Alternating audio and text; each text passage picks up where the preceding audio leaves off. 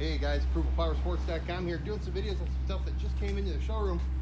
Check this one out, 2012 Ultra Limited for sale. Top of the line touring bike when it was new guys, only 19,760 miles on this one. Heated grips, dual Vance and Hines exhaust.